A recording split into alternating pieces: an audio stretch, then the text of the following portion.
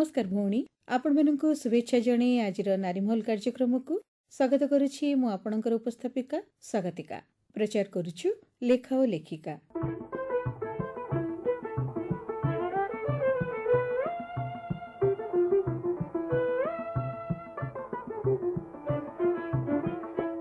ଶକୁନ୍ତଳା ମିଶ୍ର ଓଡ଼ିଆ ସାହିତ୍ୟରେ ଏକ ପରିଚିତ ନାମ।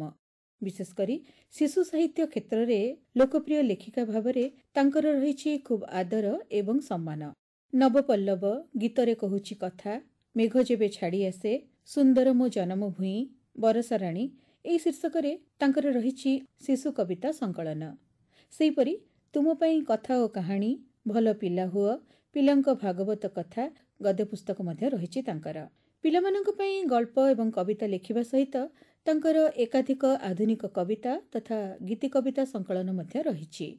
ନିଜର ଦୀର୍ଘ ଲେଖକୀୟ ଜୀବନରେ ତାଙ୍କୁ ମିଳିଛି ଅନେକ ସାରସ୍ୱତ ସ୍ୱୀକୃତି ଏବଂ ସମ୍ମାନ। ଆଜି ଏହି ସ୍ୱନାମଧନ୍ୟ ଲେଖିକା ଆମର ଆଜିର କାର୍ଯ୍ୟକ୍ରମର ଅତିଥି। ନମସ୍କାର ଆପଣଙ୍କୁ ଆମ କାର୍ଯ୍ୟକ୍ରମକୁ ସ୍ୱାଗତ କରୁଛୁ। ନମସ୍କାର। ଆପଣଙ୍କର ଏଇ ଯେଉଁ ଲେଖକୀୟ ଜୀବନଟି କ'ଣ କେମିତି ଆରମ୍ଭ ହୋଇଥିଲା ସେ ସମ୍ପର୍କରେ ଆଜି ଆମର ଏଇ ଆଲୋଚନା ଆରମ୍ଭ କରିବା। ତେଣୁ ସେ ସମ୍ପର୍କରେ ଆମକୁ ଟିକେ କୁହନ୍ତୁ। ବହୁତ ପିଲାଦିନରୁ ମୋର ଏଇ ଲେଖିବା ଅଭ୍ୟାସ। ଛୋଟବେଳୁ ପରିବାରରୁ ମଧ୍ୟ ମୁଁ ଟିକେ ପ୍ରେରଣା ପାଇଥିଲି। ମୋର ଅଜା ଜଣେ ବଡ଼ ଲେଖକ ଥିଲେ ନାଟକ କବିତା ବହୁତ ଲେଖୁଥିଲେ ସେ। ତାଙ୍କର ବହି ଅଛି। ସିଏ ଭଜନ ଗୀତ ମୋ ନାଁରେ ଲେଖିଦିଅନ୍ତି ଆଜ୍ଞା। ତେଣୁ ମୁଁ ସେତେବେଳେ ଭାବେ ମୁଁ ଯେତେବେଳେ ଦଶ ବର୍ଷ ବୟସ ପଞ୍ଚମରେ ପଢ଼ୁଥିଲି ମୁଁ କାହିଁକି ଏମିତି ଲେଖିପାରିବିନି? ଟିକେ ମୁଁ ଲେଖେ ମୁଁ ଚେଷ୍ଟା କଲି ମୁଁ ଲେଖିପାରିଲି ଏମିତି ଚଢ଼େଇଟେ ଦେଖିଲେ ଫୁଲଟେ ଦେଖିଲେ। ସେଇ ଅଜାଙ୍କ ଲେଖିବା ପ୍ରେରଣାଟା ମୋ ମନ ଭିତରେ ସୃଷ୍ଟି କଲା ଯେ ମୁଁ ଟିକେ ଲେଖେ। ଏମିତି ଲେଖୁ ଲେଖୁ ମୁଁ ଲେଖିଲି। ପୁଣି ଯେତେବେଳେ ଧୀରେ ଧୀରେ ସ୍କୁଲକୁ ଗଲି ପଦ୍ୟାନ୍ତ ଆମେ କରୁ ସେତେବେଳେ। ପଦ୍ୟାନ୍ତ କଲାବେଳେ ପଦ ମନେ ପଡ଼େନି ମୁଁ ତ ଯୋଡ଼ି ଯୋଡ଼ିକି ଲେଖିପାରେ ମୁଁ ଯୋଡ଼ି ଯୋଡ଼ିକି ପଦ୍ୟାନ୍ତ କରେ। ସାନ ଭାଇ ଭଉଣୀ ମାନେ ଯେତେବେଳେ କହିବେ ଗପ କହ ମନକୁ ଯୋଡ଼ି ଯୋଡ଼ିକିରି ଗପ ବି କହେ। ତାପରେ ଏଇଭଳିଆ ଭାବରେ ଲେଖୁ ଲେଖୁ କେତେବେଳେ ଆମର ସେତେବେଳେ ବାହାଘର ବ୍ରତଘର ଭଳିଆ ସବୁ ଗୀତ କାଗଜ ହେଉଥିଲା। ଆମ ପଡ଼ିଶା ମାନେ କହିବେ ଏ ମିନି ତୁ ତ ଲେଖିପାରୁଛୁ ଟିକେ ଲେଖିଦେଲୁ ଗୋଟେ ଆମ ପାଇଁ ଗୀତ। ମୁଁ ତାକୁ ବି ଲେଖେ ଚେଷ୍ଟା କରି ଭାବେନି ଯେ ମୁଁ କ'ଣ ଲେଖୁଛି। କିନ୍ତୁ ସେ ତାକୁ ଟିକେ କିଏ ବାଗେଇ ବଗେଇ ଦିଅନ୍ତି ସିଏ ଲେଖା ହେଲା। ସ୍କୁଲରେ ବି ସେମିତି ଆମର ସେତେବେଳେ ଗୀତ କାଗଜ ହେଉଥିଲା। ଗଣେଶ ପୂଜା ସରସ୍ୱତୀ ପୂଜାରେ ବିଭିନ୍ନ କ୍ଲାସ୍ ପିଲାମାନେ କରୁଥିଲେ। ମୁଁ ସେତେବେଳେ ଆମ କ୍ଲାସ୍ ପିଲାମାନେ ଅଷ୍ଟମ ଶ୍ରେଣୀରେ ପଢ଼ୁଥିଲି। ଆମ ସାର୍ ସୁଦର୍ଶନ ପଣ୍ଡିତ ଆମର ଥିଲେ ଜଣେ ବିଖ୍ୟାତ ଟିଚର ସେ। ତାଙ୍କୁ ପିଲାମାନେ କହିଲେ ସାର୍ ଆମ ପାଇଁ ଗୋଟେ ଗୀତ ଲେଖିଦିଅନ୍ତୁ ଆମେ ଅଷ୍ଟମ ଖ ଶ୍ରେଣୀ ବାଲା କରିବୁ। ସେତେବେଳେ ମୋର ଜଣେ ସାଙ୍ଗ ଯାଇକି କହିଦେଲେ ଯେ ସାର୍ ଶକୁନ୍ତଳା ଗୋଟେ ପା ଲେଖିଛି। ସେ କହିଲେ ଦେଖି ଦେଖି ଦେଖିଲେ। କହିଲେ ଆରେ ଏଇଟା ତ ବଢ଼ିଆ ହେଇଛି ଆମେ ଏଇଟା ଛାପିବା। ସେଇ ଗୀତଟା ମୋର ଅଷ୍ଟମ ଶ୍ରେଣୀରେ ପ୍ରଥମେ ହଳଦିଆ କାଗଜରେ ନାଲି ଅକ୍ଷରରେ ଛପା ହେଲା।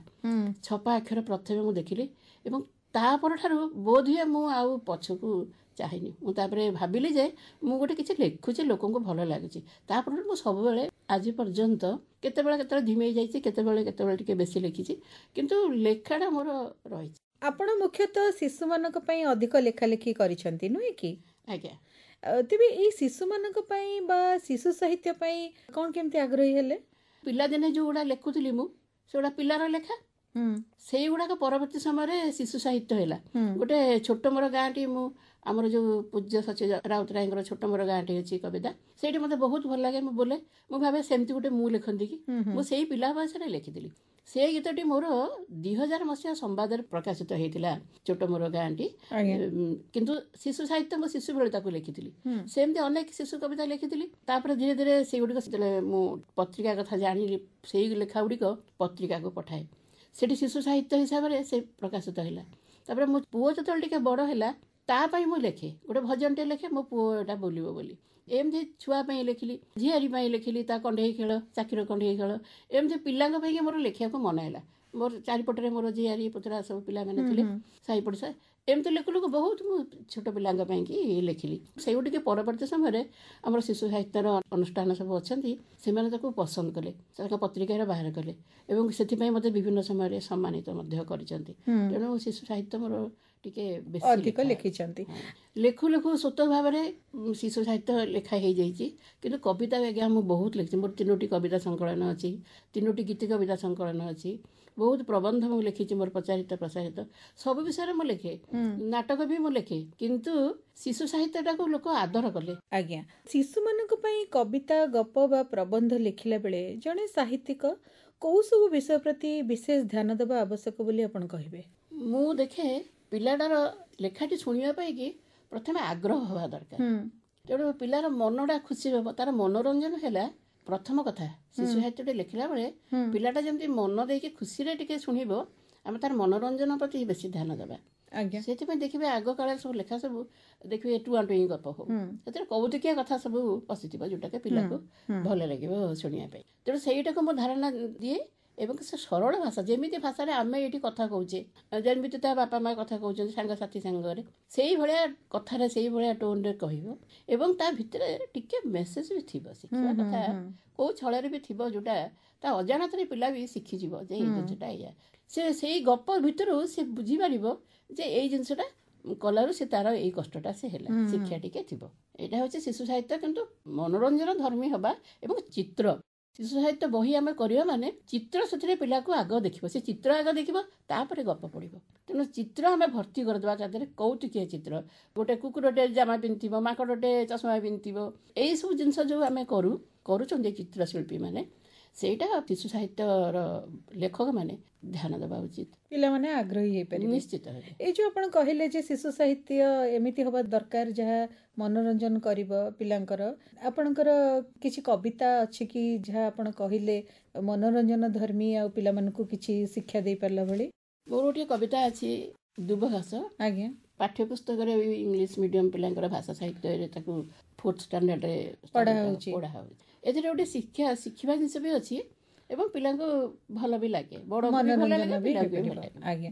କବିତାଟି ହେଲା ଶୀର୍ଷକ ହେଲା ଦୁବଘାସ। କେତେ ପଦ ତଳେ ଦଳି ହଉ ହଉ କହିଲା ଦୁବଟି ଧୀରେ ମତେ କିଆଁ ପ୍ରଭୁ କଲ ଏତେ ହୀନ ମରିବାକୁ ସରମରେ। କେତେ ପଦ ତଳେ ଦଳି ହଉ ହଉ କହିଲା ଦୁବଟି ଧୀରେ ମତେ କିଆଁ ପ୍ରଭୁ କଲ ଏତେ ହୀନ ମରିବାକୁ ସରମରେ। କାହିଁ ପାଇଁ ମତେ ସରଜିଲ ପ୍ରଭୁ ଅଲୋଡ଼ା ଜୀବନ ମୋର? କାହୁଁ କାହୁଁ ଦ୍ରୁମ ଆକାଶ ଛୁଅନ୍ତି ମୁଁ ଛୁଇଁଛି ମାଟି କୋଳ। ହସି ହସି ପ୍ରଭୁ କହିଲେ ସରାଗେ ସବୁଠି ଥାଉ ତୁ ପରା। ଟୋପାଏ ପାଣିରେ ବଢ଼ୁ ଗରବରେ ତୋ ପାଇଁ ସୁନ୍ଦର ଧରା। ଭୁଇଁ ତାତିଥିଲେ କଅଁଳ ପାଦକୁ ଦଉ ତୁ ଶୀତଳ ଛୁଆଁ। କେତେ ପ୍ରାଣୀଙ୍କର ହେଉ ତୁ ଆହାର ତୁ ପରା ସଭିଙ୍କ ସାହା।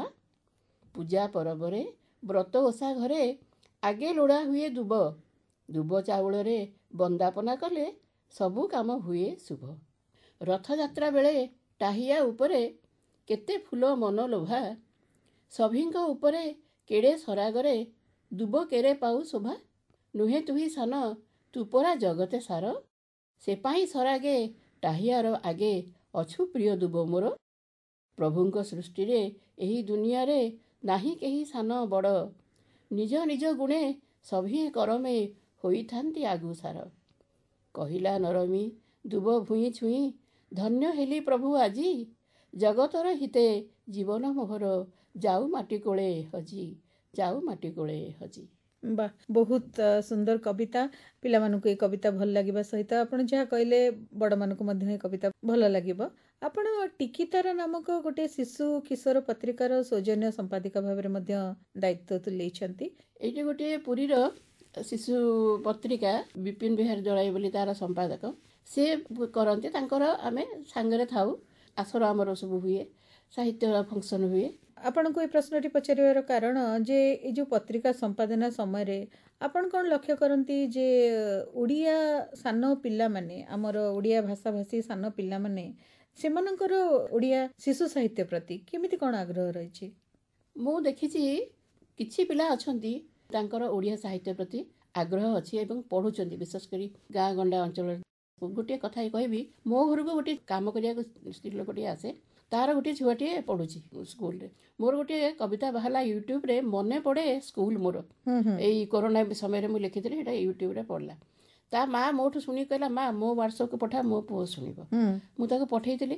ତା ପୁଅ ସେ କବିତାଟେ ପଢ଼ିକି ଖୁସି ହେଇ କହିଲା ମା ଏଇଠି ମୁଁ ଘୋଷିକିରି ସ୍କୁଲରେ ମୋର ଦିଦିଙ୍କୁ ଶୁଣେଇବି। ଆଜ୍ଞା। ତାର କେତେ ସାଙ୍ଗକୁ ସେ ନେଇକି ସେ କବିତାଟି ଶୁଣେଇଲା। ମୁଁ ତାକୁ ଡାକି କହିଲି ତୁ ଏଇ ପିଲାଟି ଦିନେ ନିଶ୍ଚିତ ବହୁତ ଭଲ ପଢ଼ିବ। ସେ ଗୀତଟିର ମୋର ଭିଓର ଏଇ ଦୁଇ ତିନି ମାସ ତଳ କଥା ଛଅଶହ କି ସାତଶହ ଭିଓର ହେଲେଣି। ସ୍କୁଲର ମୁଁ ଗୋଟେ ଆବୃତ୍ତି କରିଛି ଖାଲି ସ୍ୱରରେ ବି ବୋଲିନି। ଆହୁରି କେତେ ଗୁଡ଼ିଏ ମୁଁ ଛାଡ଼ିଛି ବଉଳା ଗାଈ ଉଁ, ଆହୁରି ଅନ୍ୟାନ୍ୟ ଶୀତଦିନ ସଞ୍ଜ ତାର ଅନ୍ୟାନ୍ୟ ଲେଖା ଅପେକ୍ଷା ଶିଶୁ ସାହିତ୍ୟ ଯେଉଁ ଆମେ ୟୁଟ୍ୟୁବରେ ଛାଡ଼ୁଛୁ ତାର ମୁଁ ଦେଖୁଛି ଭିଓର ବହୁତ ହେଉଛନ୍ତି।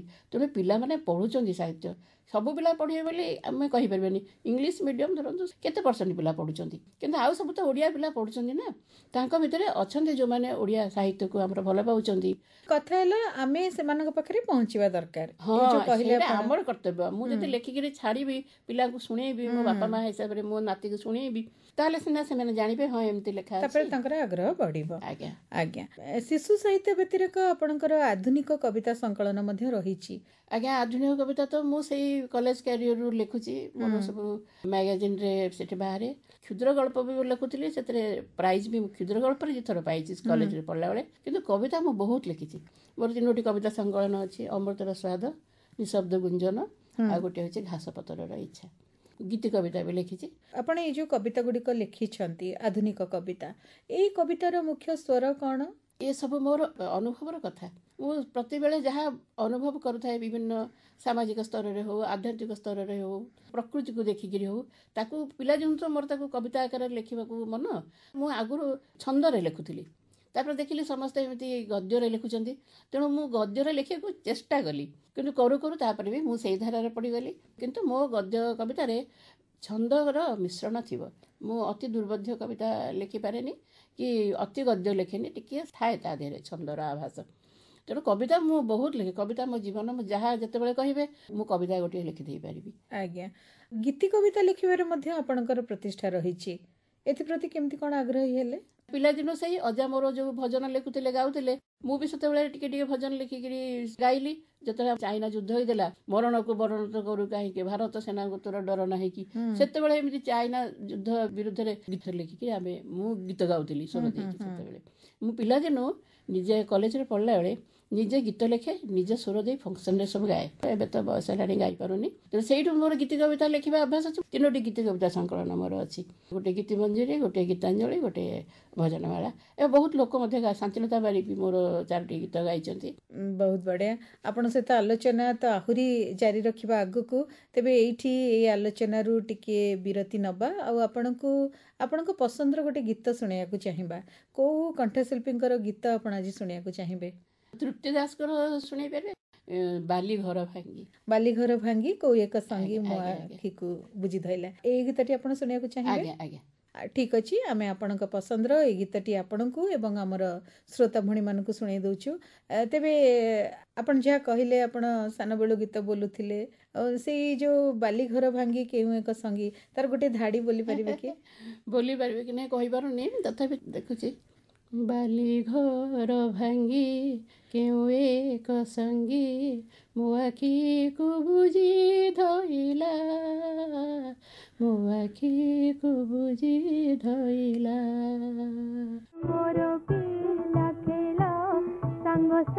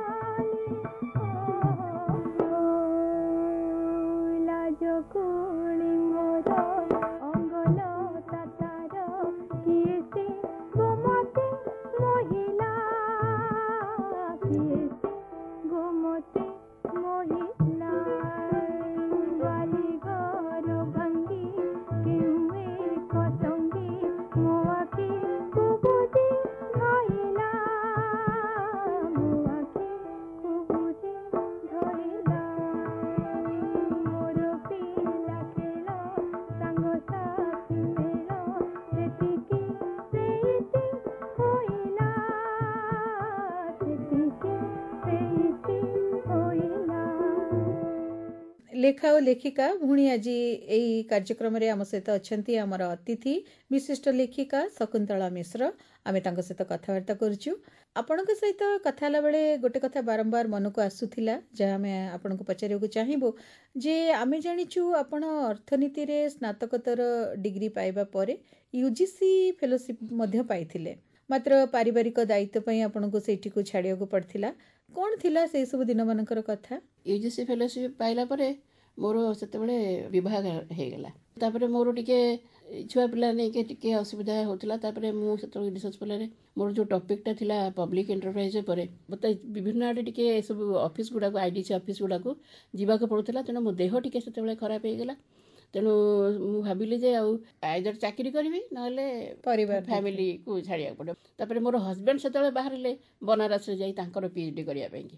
ତେଣୁ ସିଏ ଗଲା ମାନେ ମୁଁ ଏଠି ଏକା ରହିଯିବି ମୋର ଦେହ ଏମିତି। ତେଣୁ ମୁଁ ଡିସାଇଡ଼୍ କଲି ଛାଡ଼ିଦେବି। ଫ୍ୟାମିଲି ମୋର ଠିକ୍ ହେବା ଦରକାର। ବାହାଘର କରି ଯଦି ଫ୍ୟାମିଲିଟି ନ ସୁଧୁରିଲା ମୁଁ ଚାକିରି କରି କ'ଣ କରିବି? ତେଣୁ ମୁଁ ଆଜ୍ଞା ନିଜେ ରିଜାଇନ୍ କରିଦେଲି। ମୋ ସାର୍ମାନେ ମୋତେ କେତେ ମନା କରିଛନ୍ତି ମୋ ସାଙ୍ଗମାନେ ମୋତେ ମନା କରିଛନ୍ତି କିନ୍ତୁ ମୁଁ ସେଠୁ ରିଜାଇନ୍ କରିକି ଚାଲି ଆସିଲି। ଆଉ ତାପରେ ଆସିକି ମୁଁ ଆଉ ବନାରସରୁ ଫେରିଲା ପରେ ଅଶୀ ମସିହାରେ ଫେରିଲି ସତ କିନ୍ତୁ ସେତେବେଳକୁ ବହୁତ କଲେଜ ଚାକିରି କରିପାରିଥାନ୍ତି ସେତେବେଳକୁ ମୋର ଛୋଟ ଛୁଆ। ଛୁଆ ଟିକେ ମୋ ଶାଶୁ ସେତେବେଳେ ବି ଏକ୍ସପାୟାର କରିଗଲେ ମୋର ତାଙ୍କର କେହି ଭଉଣୀ ବି ନାହାନ୍ତି କେହି ବି ନାହାନ୍ତି ମୋ ଛୁଆକୁ ଦେଖିବାକୁ ସେ ସମୟରେ। ତେଣୁ ବାଧ୍ୟ ହେଇକିରି ମୁଁ ମୋ ପୁଅ ଟିକେ ମଣିଷ କରିବା ପାଇଁ ମୁଁ ଆଉ ଚାକିରିରେ ମନ ଦେଲିନି। ଦେଖନ୍ତୁ ମନରେ ବିପୁଳ ଆଗ୍ରହ ଭଲ ସୁଯୋଗ ମଧ୍ୟ ଉପଲବ୍ଧ। ଅଥଚ ଜଣେ ସେଇ ସବୁକୁ ନିଜ ପାଇଁ ପାଇବା ପକ୍ଷରେ ଏଇ ଯେଉଁ ପାରିବାରିକ ଅନ୍ତର ଆପଣ କହିଲେ ସାଧାରଣତଃ ଆମେ ଦେଖୁଛୁ ଯେ ଜଣେ ନାରୀ କ୍ଷେତ୍ରରେ ସେଇ କଥା ଘଟେ। ତାକୁ ପ୍ରଥମ କରି କାମ ଛାଡ଼ିବାକୁ ପଡ଼େ ପରିବାରକୁ ଦେଖିବାକୁ ପଡ଼େ। ଏମିତି ଗୋଟେ ଧାରାରେ କେମିତି ପରିବର୍ତ୍ତନ ଆସିପାରିବ ବୋଲି ଆପଣ କହିବେ? ନା ଏବେ ସେଇ ପରିବର୍ତ୍ତନ ଆସିଗଲାଣି ବୋଲି ଆପଣ ଅନୁଭବ କରୁଛନ୍ତି? ପରିବର୍ତ୍ତନ କିଛିଟା ନିଶ୍ଚୟ ଆସିଛି। ଆମ ବେଳେ ଆମେ ସ୍ତ୍ରୀମାନଙ୍କର କାମ ପାଇଁକି ଫ୍ୟାମିଲିରେ କିଛି ଅସୁବିଧା କେହି ସହ୍ୟ କରୁନଥିଲେ। କିନ୍ତୁ ଏବେ ଆଉ ସେଇ କଥା ନାହିଁ। ଏବେ ସବୁ ସ୍ତ୍ରୀ ଯାହା ବି ହଉ କିଛି କରିବା ପାଇଁ ଚାହୁଁଛନ୍ତି ଏବଂ ଘରେ ତାଙ୍କର ଗାର୍ଡ଼ିଆନ୍ ମାନେ ମଧ୍ୟ ବାପା ମା ଶାଶୁ ଶ୍ୱଶୁର ବି ଚାହୁଁଛନ୍ତି ସେମାନେ କିଛି କରନ୍ତୁ ଖୁସିରେ ରହନ୍ତୁ। ଯଦି କିଛି କେହି ନ କରିପାରିଲେ ଅଶାନ୍ତି ରହୁଛନ୍ତି ତେଣୁ ଅଶାନ୍ତି ରହିବା କିଛି କରିବା ବି ଦରକାର। ବର୍ତ୍ତମାନ ଯୁଗରେ ସମସ୍ତେ ହେଲେଣି କଲେଣି ଚାକିରି ଜଣେ ଘରେ ବସିଲେ ତାର ଗୋଟେ କମ୍ପ୍ଲେକ୍ସ ଆସୁଛି। ବୁଝିଲେ? ତେଣୁ ସମସ୍ତେ ଏଣିକି ନାରୀ ହିଁ ଭାବିବ ଯେ ମୁଁ କରିବି ମୁଁ କେଉଁଟା ଛାଡ଼ିବି କେଉଁଟା ରଖିବି। ଯଦି କାହାର ସେମିତି ବିଶେଷ କିଛି ଅସୁବିଧା ଅଛି ଫ୍ୟାମିଲିଟା ନଷ୍ଟ ଫଷ୍ଟ ହେଇଯାଉଛି ସେ ଜାଗାରେ ସେମାନେ ଚାକିରି ନ କରିପାରନ୍ତି। କିନ୍ତୁ ଯେଉଁଠି ଚାକିରି କଲେ ଟିକେ ଦୁଇ ପଇସା ପାଇବେ ସେମାନେ ଭଲରେ ଚଳିପାରିବେ। ସେମାନେ ସେଠି ଟିକେ କିଛି ଦିନ କଷ୍ଟ ପଛେ ହଉ କରୁଛନ୍ତି। ତାପରେ ପିଲାମାନେ ବଡ଼ ହେଇଗଲେ ପୁଣି ସବୁ ସୁଧୁରି ଯାଉଛି। ସେଟା ନାରୀର ମାନସିକତା। ଆମକୁ ସବୁ ପିଲାଦିନ କୁହାଯାଇଛି ତୁମର ଘର ସର୍ବସ୍ୱ ସ୍ୱାମୀ ସର୍ବସ୍ୱ। ଆଜ୍ଞା। ଶାଶୁ ଶ୍ୱଶୁରଙ୍କ ସେବା କରିବ ଆମ ପିଲା କଥା ବୁଝିବ। ଆମେ ସେଇ ଧାରାରେ ପଡ଼ିଯାଇଛୁ ତେଣୁ ଆମେ ତାକୁ ଛାଡ଼ି ପାରିଲୁନି ହଁ। କିନ୍ତୁ ଆଜିକାଲି ସେଇଆ ନାହିଁ। ପିଲାମାନେ ନାରୀମାନେ କରୁଛନ୍ତି ସବୁ। ସମୟର ପରିବର୍ତ୍ତନ ଅନୁସାରେ ସେଇ ସବୁ ଧାରାରେ ଟିକେ ପରିବର୍ତ୍ତନ ଆସିବା ମଧ୍ୟ ଜରୁରୀ ନୁହେଁ କି? ଆଜ୍ଞା। ଓଡ଼ିଆ ସାହିତ୍ୟର ସମୃଦ୍ଧି ପାଇଁ ଆପଣ ଅନେକ ସାହିତ୍ୟ ଅନୁଷ୍ଠାନ ସହିତ ନିଜକୁ ସଂଶ୍ଳିଷ୍ଟ କରିଛନ୍ତି। ଏଇ ସମ୍ପର୍କରେ ଆମକୁ ଟିକେ କୁହନ୍ତୁ। ଆମର ବିଭିନ୍ନ ସାହିତ୍ୟ ଅନୁଷ୍ଠାନ ପୁରୀରୁ ମୁଁ କହୁଛି। ପୁରୀରେ ଆମର ଗୋଟେ ସୁଲେଖା ସାହିତ୍ୟ ଅନୁଷ୍ଠାନ ପ୍ରିୟପତ୍ର ଆମ ସାହିତ୍ୟ ସମିତି ଅଛି ଶିଶୁ ସାହିତ୍ୟ ସମିତି। ତାପରେ ଆହୁରି ଅନେକ ଅଛି ଯେଉଁମାନେ ସେମାନେ ମାସିକ ଆଶ୍ରୟ ସବୁ କରନ୍ତି। ଏବଂ ଆମକୁ ସବୁ କବିମାନଙ୍କୁ ଡାକନ୍ତି ସେଇଠି କବିତା ପାଠ ହୁଏ। କେତେ ଲୋକଙ୍କୁ ସମ୍ମାନିତ ମଧ୍ୟ କରନ୍ତି ତାଙ୍କ ବାର୍ଷିକ ଫଙ୍କସନରେ। ସେଇଟା କବି ଲୋକଙ୍କମାନଙ୍କୁ ଉତ୍ସାହିତ କରେ। ତା ଛଡ଼ା ଆମର ଏଠି ଲେଖିକା ସଂସଦ ଗୋଟେ ଅଛି ଆମ ଓଡ଼ିଶାର। ସେଠି ଆମର ଏଠି ବାର୍ଷିକ ମାସିକ ଆମର ଆୟୋଜନ ହୁଏ ଆସର। ବାର୍ଷିକ ଫଙ୍କସନରେ ସବୁ ପୁରସ୍କାର ଦିଆଯାଏ ବିଭିନ୍ନ ବିଭାଗରେ। ମୁଁ ବି ପାଇଛି ସେଠି ଶିଶୁ ସାହିତ୍ୟ ପାଇଁ ରାମକୃଷ୍ଣନନ୍ଦ ଶିଶୁ ପୁରସ୍କାର। ତା ଛଡ଼ା ଆହୁରି ଅଛି ଆମର କେତେ ଏଠି ଅନୁଷ୍ଠାନ। ଏମାନେ ସବୁ ବହୁତ କରୁଛନ୍ତି। ପୁରସ୍କାର ବି ଦେଉଛନ୍ତି ମାସିକ ଆସର କରୁଛନ୍ତି ନିୟମିତ ବହି ବାହାର କରୁଛନ୍ତି ତେଣୁ ଲେଖକ ସୃଷ୍ଟି ହେଉଛନ୍ତି ଏବେ କ'ଣ ଲେଖାଲେଖି କରୁଛନ୍ତି ମୁଁ ତ ସେମିତି ସବୁ ଲେଖୁଛି କବିତା ଲେଖୁଛି ଗଳ୍ପ ଲେଖୁଛି ଏବେ ନୂଆରେ ଗୋଟେ ନାଟକ ମଧ୍ୟ ଲେଖିଛି ଆମ ସେଠି କରିବେ ଆମ ଅନୁଷ୍ଠାନ ଲୋକ। ତାପରେ ୟୁଟ୍ୟୁବ୍ ଚ୍ୟାନେଲରେ ଏବେ ମୁଁ ବହୁତ ମୋର ଶିଶୁ କବିତା ଉଁ, ଛାଡ଼ିଛି। ମାନେ ମୋର ଚ୍ୟାନେଲ ନୁହଁ ଆମ ସାହିତ୍ୟ ଅନୁଷ୍ଠାନ ସବୁ ଅଛନ୍ତି। ସେମାନେ ମୋଠୁ ମାଗିକିରି ରେକର୍ଡ଼ିଂ ନେଇକି ତାଙ୍କର ସେମାନେ ଛାଡ଼ନ୍ତି। ମୁଁ ଦେଖୁଛି ତାକୁ ବହୁତ ଭିଓର ତାର ହେଉଛନ୍ତି ଦେଖିବା ପାଇଁ। ତେଣୁ ମୋର ବି ଟିକେ ଆଗ୍ରହ ହେଉଛି। ମୁଁ ମୋର ଶିଶୁ ଲେଖା ବହୁତ ଅଛି। ମୋ ପିଲାଙ୍କ ପାଇଁକି ଏମିତି ସବୁ ତ ବହି ତ ପିଲାଙ୍କ ପାଖରେ ପହଞ୍ଚି ପାରୁନି। କିନ୍ତୁ ଏଇଟା ୟୁଟ୍ୟୁବରେ ଛାଡ଼ିଲେ ପିଲାମାନେ ଦେଖୁଛନ୍ତି ପଢ଼ୁଛନ୍ତି। ତେଣୁ ସେଇଟା ବି ମୁଁ କରୁଛି।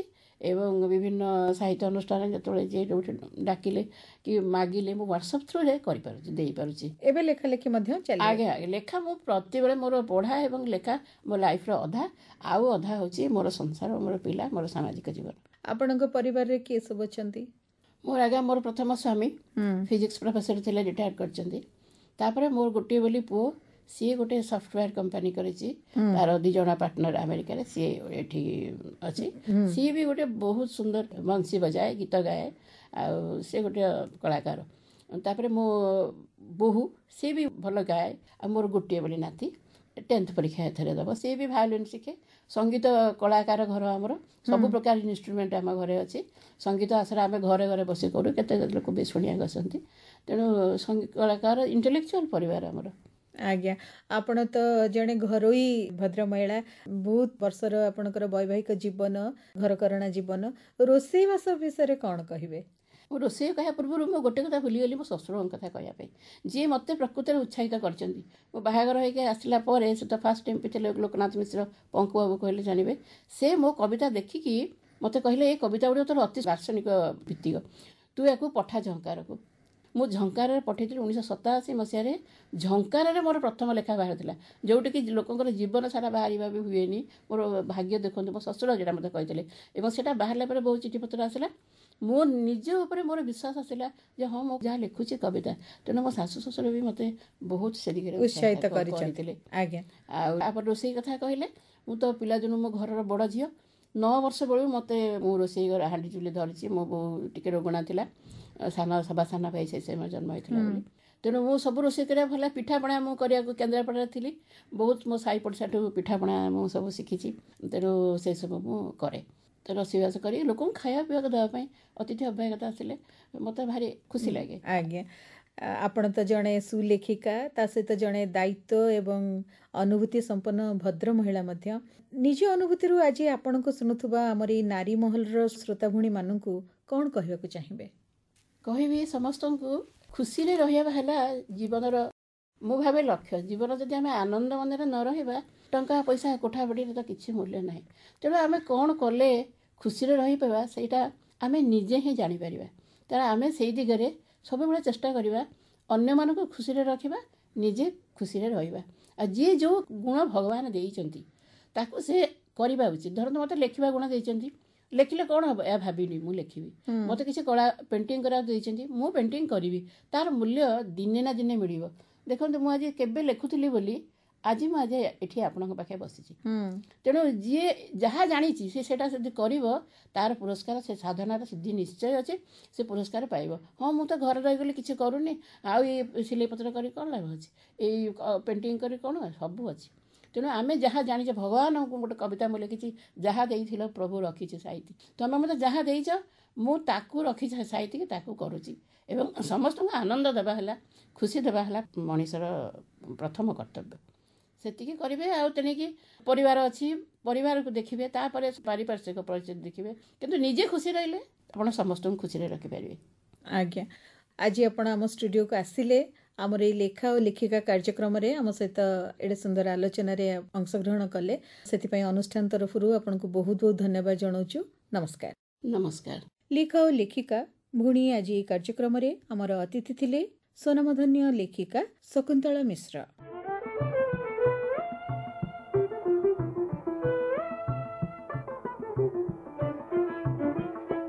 ତାହେଲେ ଭଉଣୀ ଆଜି ତ ସମୟ ହେଇଯାଇଛି। ଆମର ଆଜିର କାର୍ଯ୍ୟକ୍ରମ ଆପଣମାନଙ୍କୁ କେମିତି ଲାଗିଲା ଆମକୁ ଚିଠି ଖଣ୍ଡେ ଲେଖି ମତାମତ ନିହାତି ଜଣାଇବେ ବୋଲି ଅନୁରୋଧ। ଆମର ଠିକଣା ତ ଆପଣମାନଙ୍କୁ ଜଣା। ତଥାପି ଆଉ ଥରେ କହି ରଖୁଛୁ ନାରୀମହଲ ଲେଖା ଓ ଲେଖିକା କାର୍ଯ୍ୟକ୍ରମ ମାର୍ଫତ କେନ୍ଦ୍ର ନିର୍ଦ୍ଦେଶକ ଆକାଶବାଣୀ କଟକ ପିନ୍ ସାତ ପାଞ୍ଚ ତିନି ଶୂନ ଶୂନ ଏକ। ତାହେଲେ ଭଉଣୀ ଆଜିର ନାରୀମହଲରୁ ମୁଁ ଆପଣଙ୍କର ଉପସ୍ଥାପିକା ସ୍ୱାଗତିକା ଏଇଠୁ ବିଦାୟ ନେଇ ରହୁଛି। ନମସ୍କାର।